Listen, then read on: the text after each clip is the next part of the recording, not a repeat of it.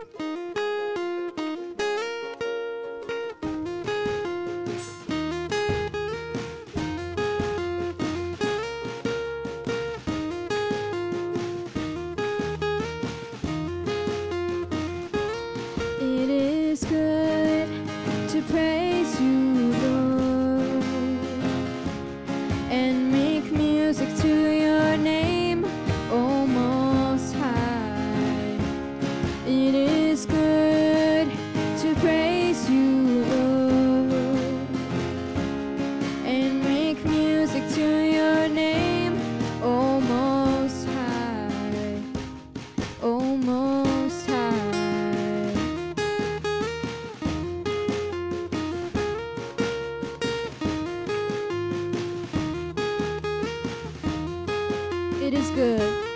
It is good to praise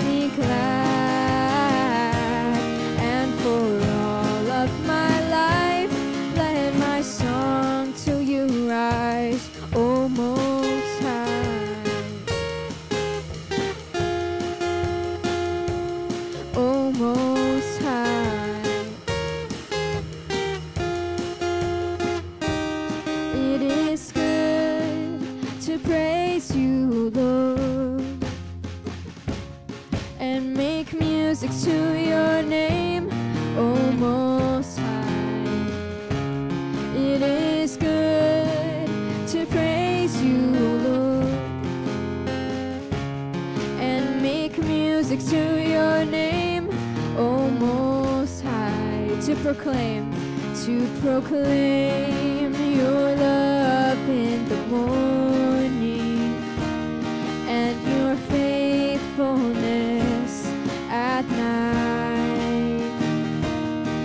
proclaim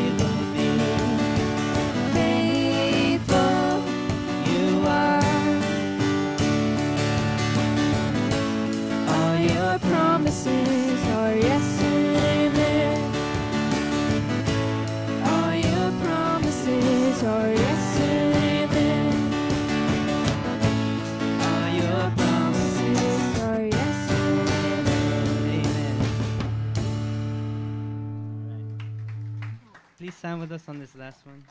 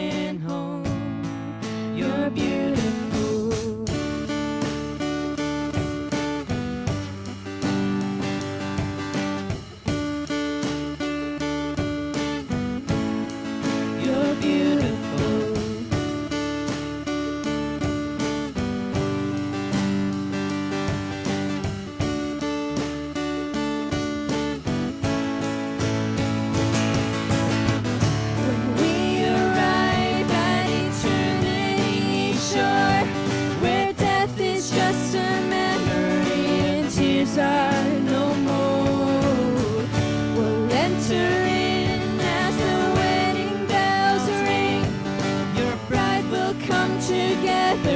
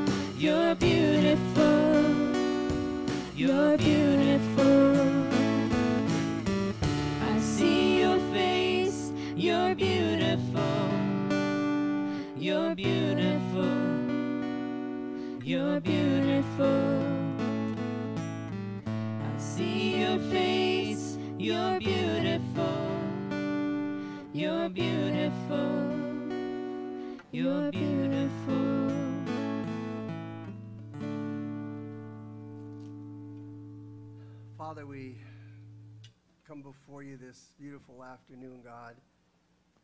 And Lord, you are beautiful, you're wonderful.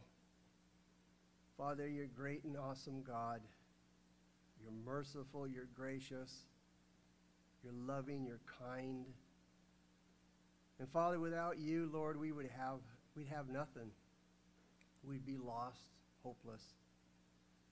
Father, we thank you for your love and your grace. We thank you for the cross. Father, this evening we pray that your words would sink into our heart. Father, to those deep, secret places that only you can get to, God. The Father, you would remove or we'd give to you, Lord, all those things that displease you, all those things that, Father, don't belong in our heart. Father, we look to you now that your Spirit would minister to us, that He'd have His way with us, that He'd reveal the Scriptures to us, Lord. And Father, we pray for the many needs of your people. We pray for the church, Lord, for those who are sick. We pray for Sister Frances, Lord, that you'd be with her, that you'd help her out, Lord. You'd cover her, that you'd minister to her, Lord. Father, we pray that you would help to put out all of these fires, Lord, that are just is causing havoc, Lord, especially for our firemen, Lord. And that you would protect them, you have your hand upon them, Lord, and their families. You'd cover them, Lord. Father, for our policemen, Lord, that you'd cover them, you'd protect them, Lord. The Father, you would just pour out your Spirit upon our nation. The Father, we would recognize our sin and that we'd ask for forgiveness, God, that you would hear our prayer and heal our land, God. Lord, I pray for all of those in the body that are in need, Father, whether they're, they're jobless, Lord, or, or concerned about the next house payment, Lord, or the next bunch of groceries that they need to buy, Father. Lord, we pray for this plague, God, that's covered our land. That, God, you would heal it. That our kids can get back to school, Father and that people can get back to work, Lord. And Father, we pray for the church. Lord, your word says that the gates of hell shall not prevail against us, so let us not worry about the church. Because we are the church, God. Your spirit cannot be bound, it cannot be contained. And Father, help us to be creative in the way we preach the gospel as well as being good witnesses to our city, to our neighbors, God. As we wear our masks as we should, as we social distance as we should, God. Regardless of the things that we hear and all the controversy, God, we are called to be good witnesses regardless. Let not our own opinions, God, take over our behavior. But Father, may we seek peace with the city as long as it's not required, as long as we're not required to compromise, Lord. Father, bless our evening in the study of your word. Bring it to life. We thank you now. In Jesus' name we pray. Amen. How you guys doing? Go ahead and greet somebody in the 2020 fashion. A wave or a look, a wink.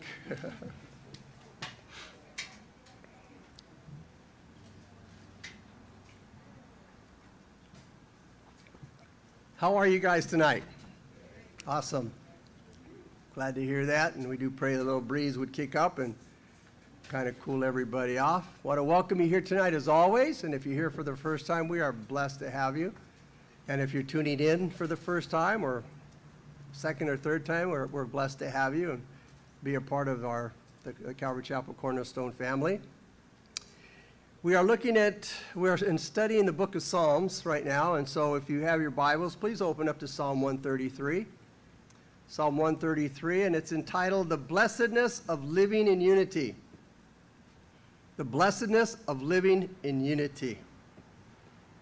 David was the king of Judah and Benjamin, and he ruled in Hebron for seven and a half years. He inherited a divided kingdom and almost a civil war.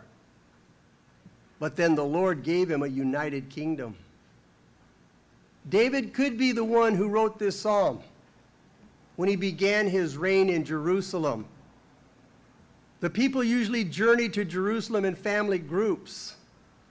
So this psalm perfectly fits the situation. And it applies to individual believers and churches today. Because we also have our family quarrels. We need to learn to walk together in love.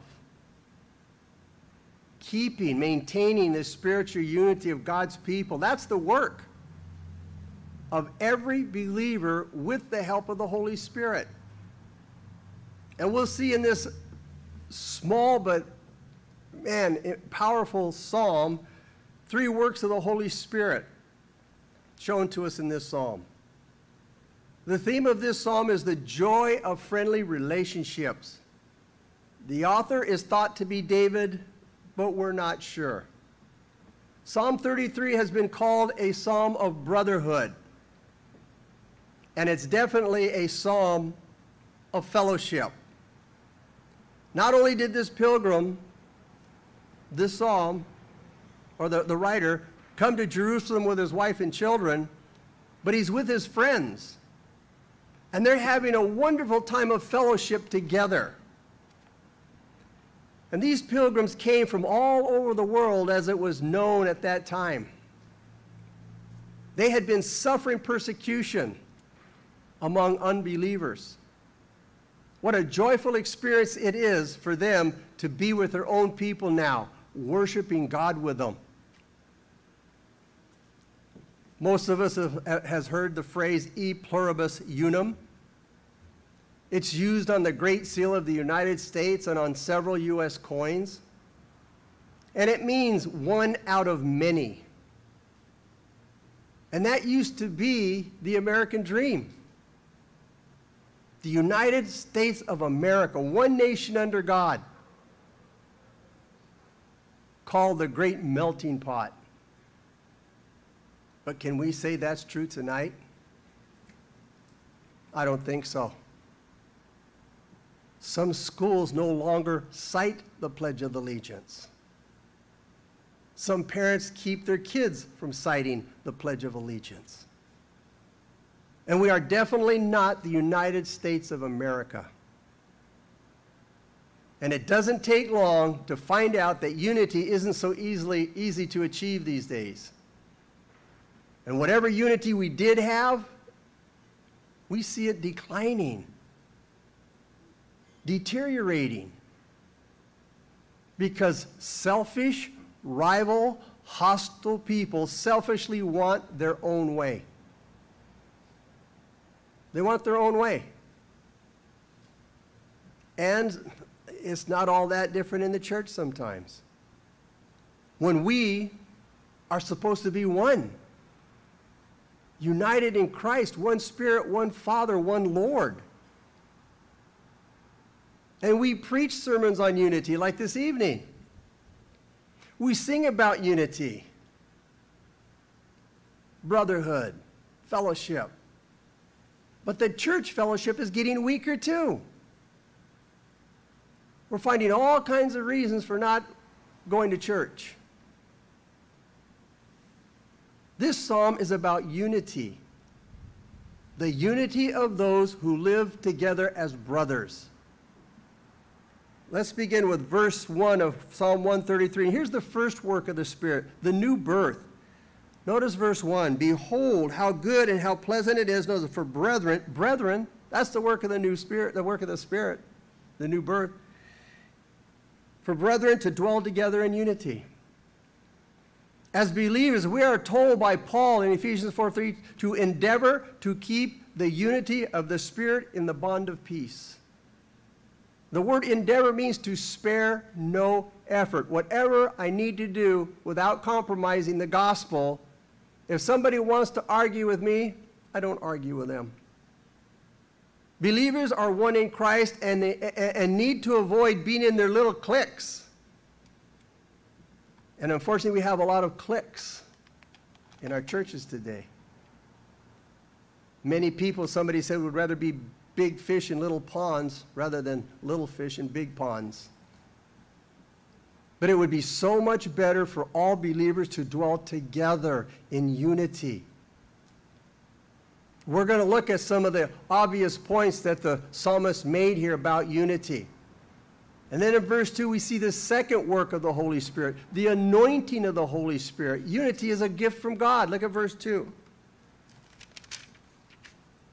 It is like the precious oil. Unity is like the precious oil upon the head, running down on the beard, the beard of Aaron, running down on the edge of his garments. The first picture the psalmist uses here is anointing with oil. Oil is a symbol of the Holy Spirit. Specifically, it's the anointing of Aaron the high priest. An anointing was done at God's direction, and it was done God's way, and it was done with His authority. And any blessing it came with was from God. In verses 2 through 3, three times we read the word running down. Now, you actually see it twice running down, but the word descend means coming down, so it's the same meaning. Three times running down. It emphasizes that the blessing of Aaron's anointing was from above because it was coming down from God. We're sinners. And one of the first sad signs of sin is that it separates. Sin creates discord, disharmony, and hostility. And it takes God to defeat sin and bring harmony again. All real lasting unity is from God. Now, unity is for all. The second picture that the psalmist uses is the dew of Mount Hermon falling on Mount Zion. Now, Mount Hermon was the highest mountain in Israel, several hundred miles north of Jerusalem. You could recognize it because of the dew that fell on its tall peaks. Now, here, that dew is also said to fall on Zion, which isn't very high. So that dew fell on the very highest peaks as well as the lowest peaks. And like the earlier image, dew comes from above. And it shows that unity is from God. But the main point of this picture is that the dew is, is for little Zion, the lowest mountain, as well as the great Mount Hermon, the highest mountain. And it's not about the refreshing quality of the dew, nor its gentle, common influence. That's the important thing about the dew. The reason that the dew is such a good picture of brotherly harmony is because it falls equally on both mountains, the small and the big.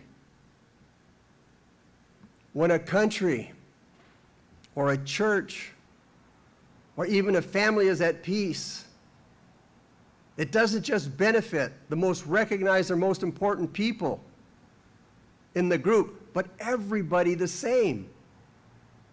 Everybody's blessed, and especially the small, the unimportant, and the weak. And in the same way, disharmony hurts everybody.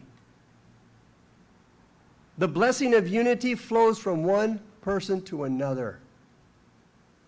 The anointing of Aaron was a blessing from God for him. But Aaron was the high priest. That meant that Aaron in turn blessed others. And the oil that was running down from Aaron's beard, running down onto the edge of his garments, that also suggests the flow of blessing. There's even the hint that since the oil, notice it was precious oil, it was the best oil blended with myrrh, cinnamon, cane, and cassia. Exodus 30, 22, and 24. The anointing would have been a sweet smelling, it would have been sweet smelling, and it would have filled the air wherever Aaron went.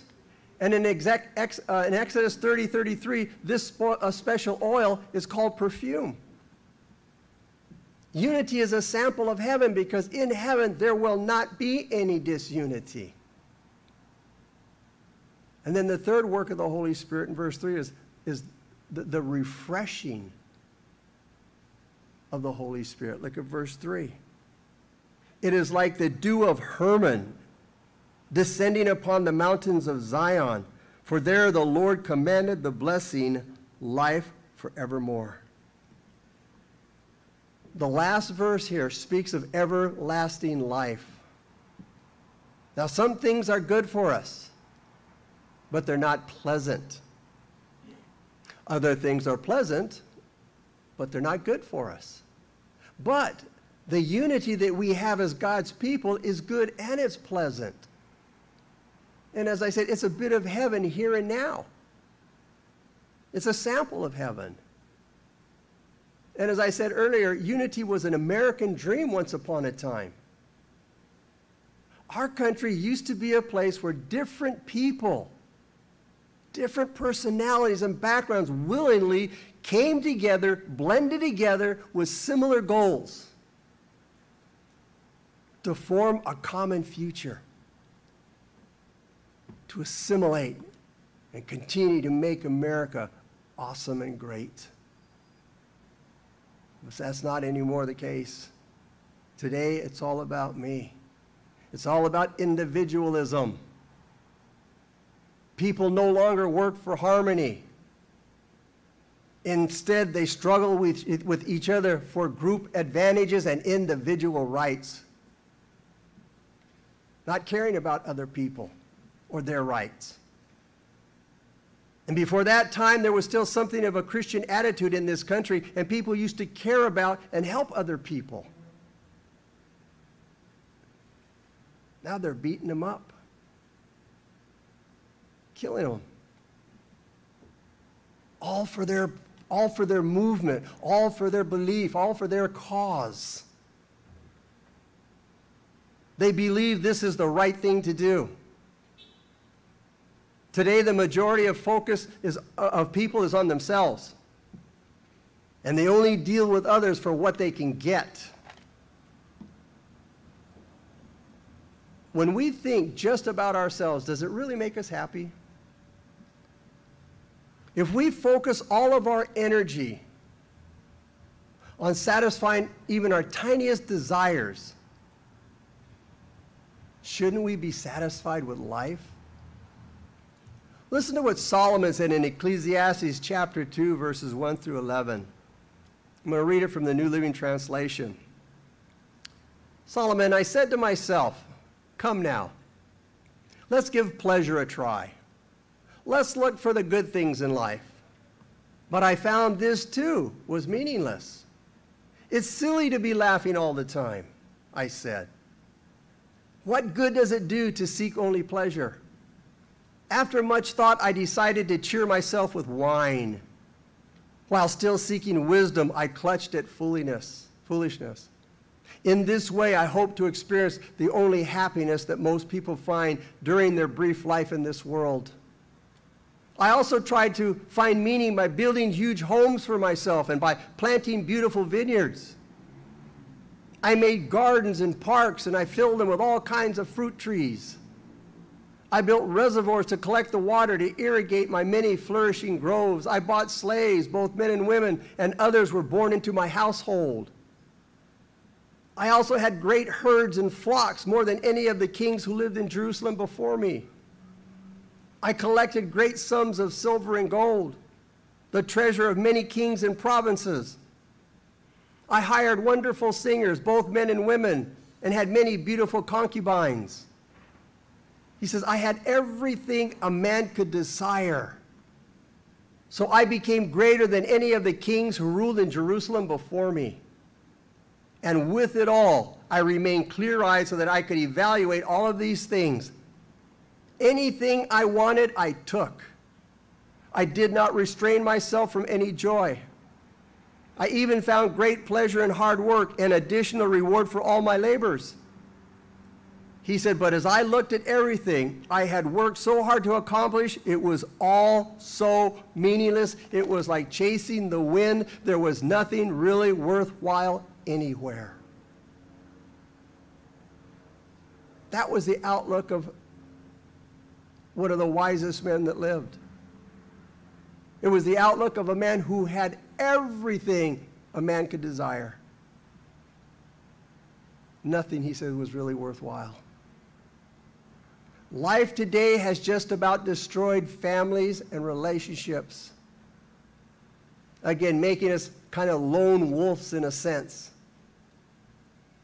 the family being the most, most important social system, has been reduced to the basics.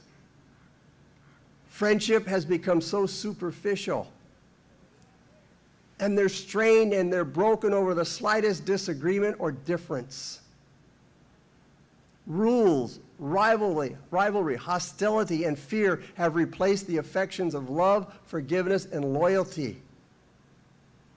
That keeps a friendship going. America is becoming one huge antisocial people. Man, our churches should be a stronghold of fellowship, and yet individual has even invaded the church. A lot of us drive to church, we listen to Christian radio, listen to the sermon, say hi to all of our friends, and go home without really experiencing true fellowship. Earlier, Christianity was so focused on corporate spirituality that communion was taken from the same cup. Now we know we can't do that today.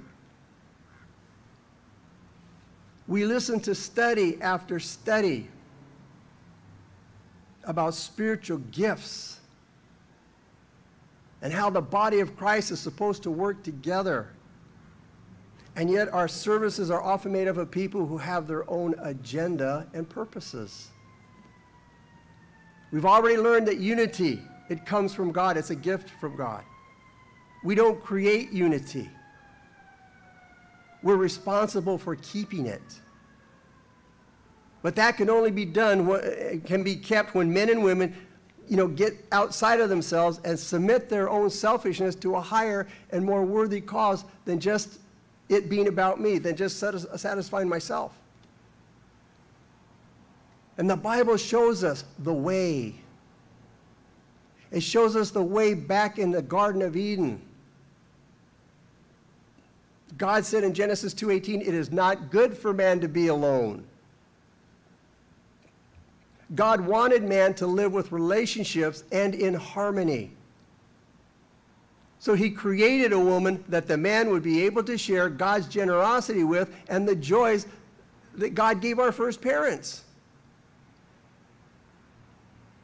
Adam and Eve shared in his generosity.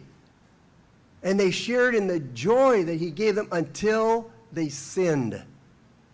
Until it was all about self. Eve said, I saw. I wanted. A lot of people have eye problems. It's not the ones in their head. It's all about me, it's all about self. In the New Testament, when Jesus established the new people of God, the church, he didn't leave them by themselves, and He didn't leave them to their own plans to try to figure things out by themselves. But He brought them into a new fellowship called the church. The church the church of Jesus Christ, the Christian church. Jesus prayed for the church. And one thing that he prayed for was for God to give his people humility. I'm sorry, unity. Instead of, you know, blaming in each other and causing mutual disharmony. disharmony. Jesus prayed for God to give his people unity. Listen to what Jesus said in John 17, 20 through 23. I do not pray for these alone, but also for those who will believe in me through their word, that they will all may that they all may be one. As you, Father, are in me and I in you, that they also may be one in us. That the world, notice that the world may believe that you sent me. And the glory which you gave me, I have given them that they may be one just as we are one. I in them, you in me, that they may be made perfect in one. I in them, again, and you and me, that they may be perfect in one, and that the world may know that you have sent me and have loved them as you have loved me. This isn't a man made unity. It's not a conjured up unity. It's a unity that's based on a mutual relationship in Jesus Christ and His Word. it's equal to the unity that's in God. When you study the book of Acts and you study the history of the church, we find Jesus' prayer answered in the neighborhood. That is the community that was formed in Jerusalem after he resurrected and went back to heaven. Listen to what Luke had to say about that church. Acts 2:42 he says and they continued. The word continued means to abide. They continued or they abided steadfastly in the apostles' doctrine, which is the word of God, and fellowship, in the breaking of bread, and in prayers. This church is the New Testament matching part of the fellowship that's pictured here in Psalm 133. And this was a local city church as well in the book of Acts. It was also a big church. 3,000 people were added to it at Pentecost, making it 3,120 members. The 120 were the 120 who were praying in the upper room for Pentecost. It started with 12 apostles. But when the 12 apostles found that they weren't that, that there weren't quite enough people to do the work, they asked the church to choose seven deacons in Acts chapter 6. But the church grew even more because all the people, not just the 12 apostles and seven deacons, shared the ministry. A church that big naturally has its problems. Because again, it had all kinds of personalities and sinful people. But it was still a model church in a lot of ways. One of the most amazing things about this church in the book of Acts was its commitment to fellowship, which means unity. Fellowship has to do with holding something in common. Christian fellowship means common participation in God, and this is what had drawn the early Christians together.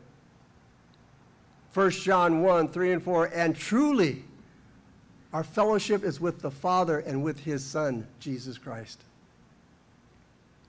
Somebody said, the stronger your vertical fellowship is, the stronger your horizontal fellowship will be. You see, the stronger your relationship with is with God, the stronger your relationships with the earthly will be. The church in Acts was a great example of this. These believers had strong relationships with God that resulted in strong relationships with each other. And there are four specific things that, mention, that are mentioned in the description of the church in Acts chapter 2, verse 42. And you know what? This is the prescription for a healthy church. First of all, the apostles' teaching, the apostles' doctrine. Real unity or fellowship can only be established around a common set of convictions. A belief is something you hold, a conviction is something that holds you. They had a common set of convictions and beliefs. What, that's what drew these people together, these believers together in their fellowship. It was common love and devotion to the apostles' teaching.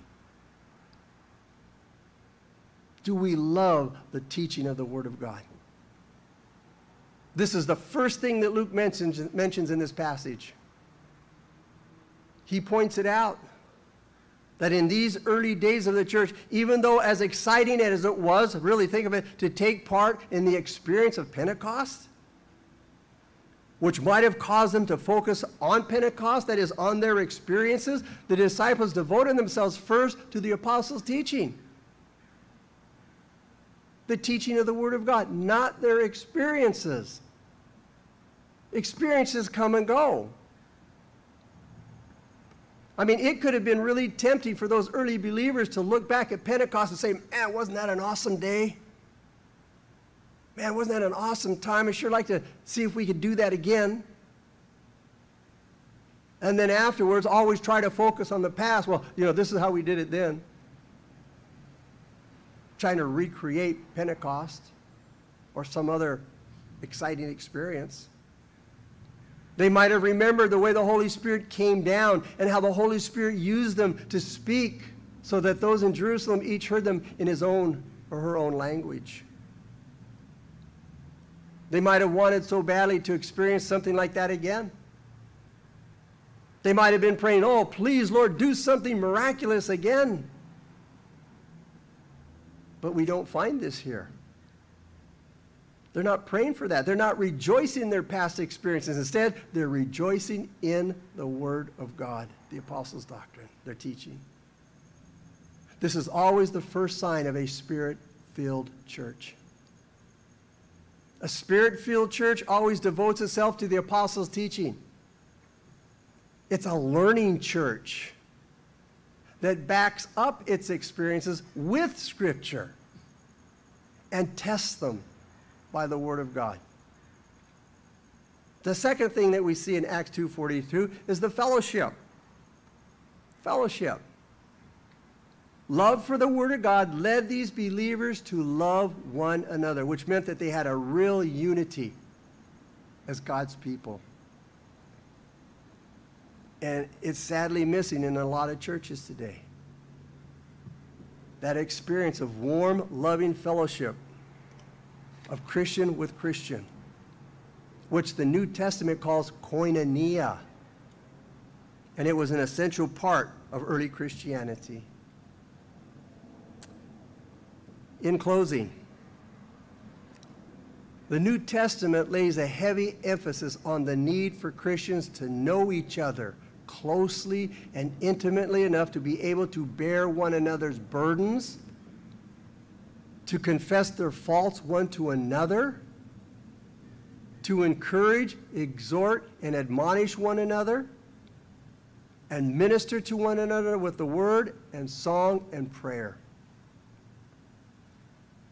as we carry out the, the, the, various one another ministries, and again, there's at least 150 times that the phrase one another is used in different ways. We have a one another ministry in our life as a Christian. And it's, and, and it's with all the saints. It shows that we have a special relationship to one another. Like the apostle said, Paul, when he said in Ephesians 3 18 and 19, What is the width and length and depth and height to know the love of Christ which passes knowledge? Like I said, there are over 50, I said 150, there are over 50 one another statements and commands in the New Testament. You see, that calls us to a special kind of life together. Here's just four for an example. Mark 9:50 it says be at peace with each other. John 13:34 love one another. Galatians 5:13 serve one another in love. Ephesians 4:32 forgive each other. Those are just a few carry one another's burdens, pray for one another. You know, it, it just, like I said, at least 50. The most important thing about them individually and as a group was their devotion to the teaching. And because of the teaching, their love for the teaching, they cared for each other. They cared for one another's you know, difficulties and burdens. They even shared their material possessions with each other, and they gave generously to everybody that was in need. You see, they were unified. They were unified. And then the third thing that we see in Acts 2:42 is the worship of God. The worship of God. In this early church, there was the breaking of bread, it says daily, and prayer. Breaking of bread stands for the communion service and prayer, even though it's, it's something that we can do individually and at any time.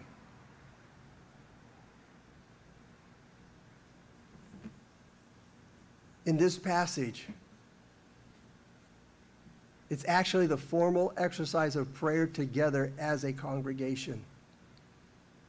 These Christians devoted themselves to breaking the breaking of bread and to prayer. They got together to observe the Lord's Supper, to pray, and to praise God. Now, in Acts 42 6, it says they did this in the temple formally, That is, together as a body of believers. And then verse 43, it says, in the homes, informally. They had informal and formal worship.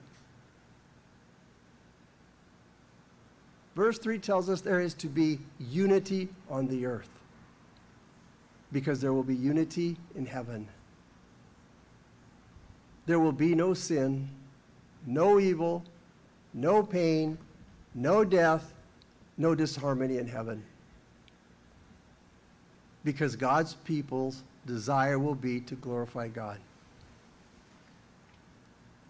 And we read that at the end of chapter 42 that the church grew, it multiplied.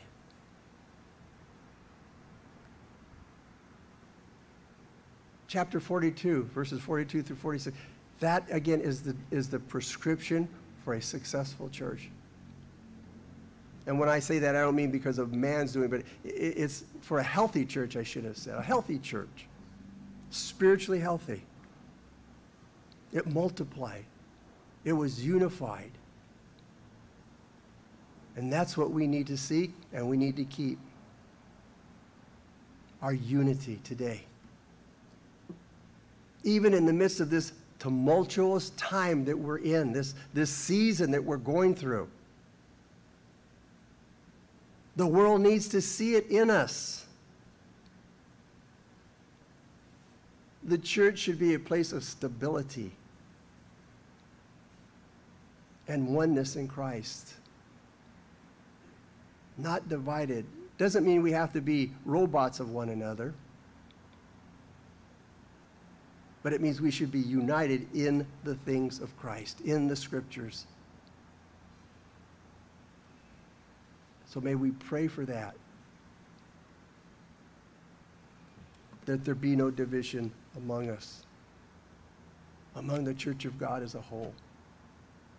Let's pray. Father, we thank you for this beautiful psalm, God. Though small, it has so much to say. Father, we pray for the unity of the church of Jesus Christ. We pray for the unity of each believer. God, help us to look away from ourselves and to our fellow man. Help us esteem others higher than ourselves. To look to one another's needs, to pray for one another, to love one another, to share one another's burdens. Father, give us that desire. Because it's a work of the Holy Spirit. And help us not to grieve the Holy Spirit, that He may work in us and through us and that he may bless the church and empower the church and use the church to shine in a dark place and to get the message out that people might be saved, that they might come to the saving knowledge of Jesus Christ. Father, we thank you. We love you. We give you glory and honor. In Jesus' name we pray. Amen. Next week, Wednesday, we'll be back in Job. We'll be looking at Job chapter 12. And uh, Zophar had spoken his mind to Job, and then in chapter 12, now Job's going to answer Zophar. Amen. Please join us on this last song.